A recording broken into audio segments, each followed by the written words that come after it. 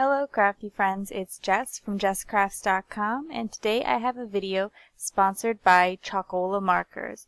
I was recently sent this 10 pack of Chalkola um, wet wipe chalk markers and this is a 10 pack and you see there's a whole variety of colors from some really bright fun pinks, greens, and purples but then there's also the neutral colors of brown, black, and a white and I'm really impressed with the range that they chose. I think that if you pick up this pack, you kind of get um, a little bit of every color you're going to need, and I like that they went with the brights because I think that that looks good on a lot of the black surfaces that you're likely to use when playing with chalk markers. So I'm going to be using them on the um, black cardstock to see how they work and on chalkboard stickers and a variety of other surfaces. Just going to keep, you know, kind of experimenting and playing with them.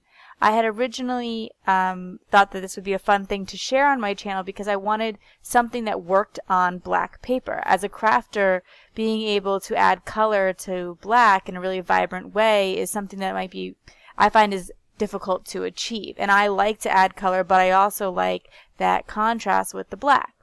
And so I um, was excited by these markers, and it turns out that they actually do uh, work pretty well on black paper. So that's the first thing I'm going to show you is how I write on on black paper with them. Now these markers are designed for non-porous surfaces, so that means like um, like a plastic surface, a chalkboard surface, uh, whiteboards, but they do work on porous surfaces like paper. And I'll give you some tips for how to work with them on the black paper, but first I'm showing you how you get the markers started.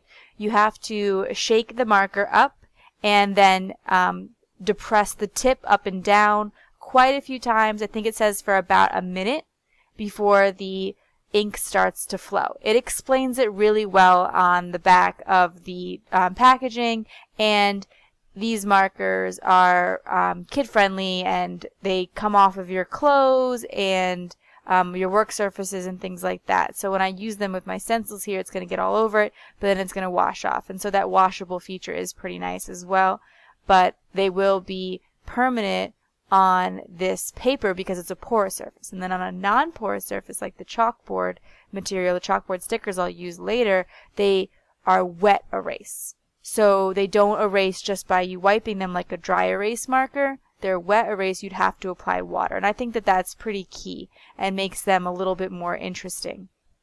So in terms of them drawing on the black paper, you're going to see here that this is the very first time I'm doing it, and I'm struggling a little bit to get even coverage because the first time that I swiped the marker across, it was really opaque, so it covered really well, and I didn't see any of the black. But then as I started working and um, continued to swipe, I was noticing that it wasn't as opaque, and I continued to experiment and realized that when I swiped too quickly, it was less opaque. And so the key is to slow down a little bit and make sure that you're giving enough time for enough of the ink to come out of the marker or enough I, I guess it's not quite an ink but a mix between like an ink and a paint and you want to make sure that it's given enough time to flow out of the tip to give you that even coverage but you can go back and layer the chalk marker back on to the areas that were a little bit less opaque because it is absorbing into the paper so it won't pull it off when you're using it on paper. Now if you go over it on a non-porous surface it's probably going to pull up the color a little bit more just because on a non-porous surface it's sitting on top of the surface whereas here it's going to absorb in. And as you can see, I mentioned before, they are really easy to clean up. I just took some water and I was able to clean it right up off my craft sheet and right up off my stencil. Because it does activate with water, I'm sure that you could, even if, if you wanted to give it a shot, spray the stencil with what's left on there and then dab a piece of paper on it and see what kind of effect you might get um, just from what those leftovers are.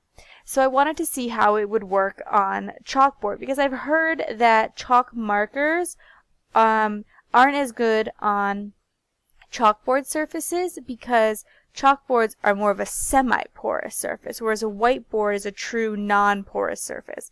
And I found that the uh, I got pretty good results in terms of the chalkboard sticker. They write similarly. They're just as opaque on the black chalkboard, but I was able to spray this with water and it completely erased. Some people have mentioned that um, it doesn't erase as well on chalk surfaces. And I think it's going to be a little bit dependent upon the chalk surface that you use. And also the package recommends letting something dry for about 30 minutes before you try to erase it. Now in that instance I didn't, but you know, just the recommendation if you feel like it's not coming off as easily. So a way to use chalk stickers on a card, I picked out these chalkboard speech bubble stickers. And I thought it'd be fun to make a card where you could basically change the sentiment. So when the recipient got the card, they could display it and write different things on it. And the way to make that fun and interactive would be to use a photo.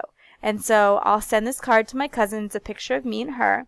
And I'm going to write a message on it. But then when she displays it, since it's a chalkboard card, she could change the messages and um, interact with it and make us say different funny things to each other.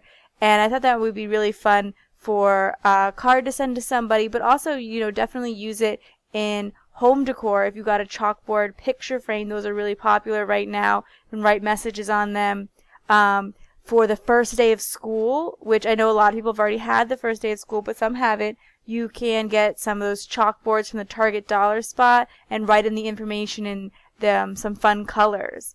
And these markers are available on Amazon and I'm going to leave you that link below. And since this is a sponsored post, they offered a 10% off code and I will leave the code in the video description. So if you want to check out these particular markers, please go to the video description and get that code so that you can save as well. I wanted to also test them out for labeling because I really liked the vibrant colors and I thought that it would add some fun pops of color.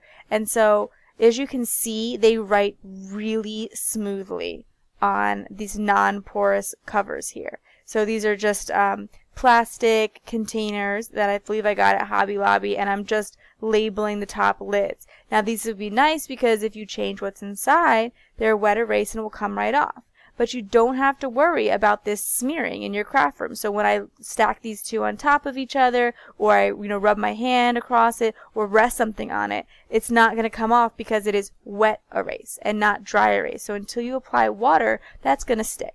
Now, you can scratch it off because um, it is kind of like a paint. So it's not completely free from harm in that sense that, you know, like I said, you could, if, if you, um, took your fingernail to it, you could scratch it off. But in terms of just typical things brushing up against it, it's not going to come off of those surfaces. And on the paper, of course, it's going to absorb right in. Now what I'm doing now is trying it on vellum because adding color to vellum is super tricky in my opinion, how to get sentiments onto it or um, designs and so I was super impressed that this was another way that I could use it in a traditional crafting way and work with vellum. Um, you know, I don't use a lot of chalkboards in my crafting, but I do love to use black paper for high contrast, and I love the look of vellum, that mix of that semi-opaque, and I love the way that this vellum looks layered over that high contrast black background, but then I can still get really opaque um, color and embellishment on top of it with the chalk markers. The markers write really smoothly and they fully cover so you can add glue behind it without seeing it. Now you want to be really sparse with the glue because if the glue leaks out from under where the letters are, you will see the glue through the vellum. But as long as you keep the glue under that chalk writing, it will stay um, it will say hidden because that chalk marker gives a really, really solid coverage. And so overall, I really enjoyed experimenting with these markers and playing with them with my traditional crafting. I didn't want um, markers that would only work on chalkboards or whiteboards because that's not what I do in my craft room. I, you know, I work a lot with paper, and vellum, things like that. So I wanted to make sure that it would work for the things that I like to do.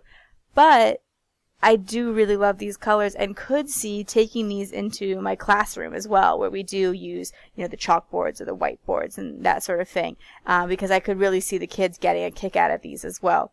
And so I'm just sharing a few more projects and the pictures, close-up pictures of the projects and how you can use them on a variety of crafting surfaces and in your card making. If you are interested in these markers, again, All of the links and information is below. Thank you to Chalkola for providing these markers and providing a discount code to my subscribers. If you are interested in some more crafting videos, you can subscribe to my channel. I share a lot of card making and coloring tutorials and things like that. And thanks for watching. Bye!